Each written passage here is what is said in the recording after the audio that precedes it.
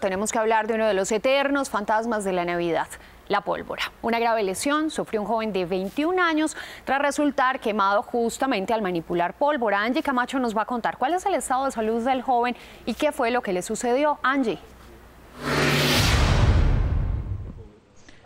Alejandra, televidentes, muy buenos días. Mire, lo que vaya a pasar con el ojo izquierdo de este joven de 21 años aún es incierto. Ayer en la tarde fue el sometido precisamente a una intervención quirúrgica y se espera que en las próximas 24 horas los médicos puedan saber qué fue lo qué, qué va a pasar con el ojo tras esta evolución. Vamos a hablar precisamente con Carmenza, la mamá. Doña Carmenza, gracias por atendernos y yo le quiero preguntar inicialmente qué fue lo que pasó esta noche del 24 de diciembre, que entiendo él iba caminando por el barrio y fue quemado con la pólvora que además no manejaba él.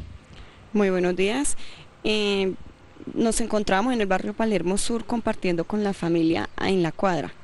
Mi hijo se encontraba eh, con la niña, con la hermanita y, con la cuñada en el andén. Habían vecinos manipulando pólvora.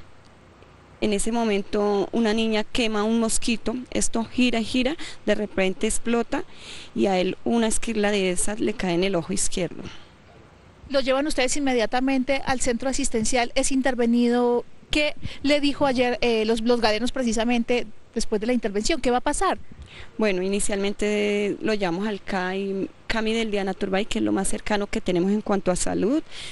Allí no nos lo atienden, nos desplazamos al hospital del Tunal, allí tampoco recibimos ayuda, puesto que no tienen servicio de oftalmología a las 24 horas entonces nos lo llevamos para el hospital Simón Bolívar. Allí lo hospitalizaron sobre la una de la mañana.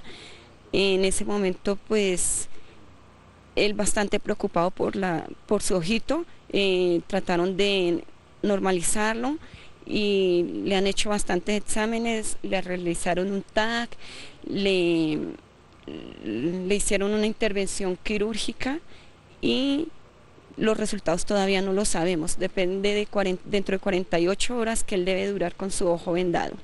Y, y discúlpeme un segundito porque yo quiero que ustedes observen un video. El joven desde el Hospital Simón Bolívar grabó a través de su teléfono celular un video donde incluso él dice que no entiende cómo, si él no estaba manipulando la pólvora, hoy se encuentra en una situación como esta. Escuchemos.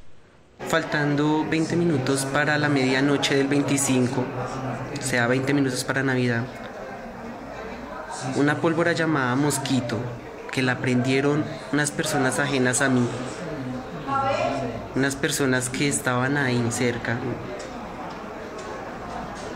Estalló y uno de esos pedazos me cayó en el ojo.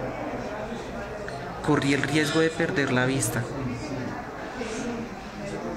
Y lo curioso es que yo ni siquiera estaba manipulándola, no tenía nada que ver y resulté afectado.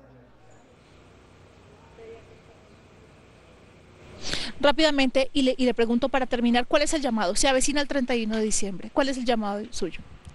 Padres de familia, niños, por favor, concienticémonos. No solamente si esto le ocurrió a mi hijo que no manipula pólvora en ningún momento de su vida lo ha hecho y le ocurrió esto, imagínese a los que lo, la manipulan.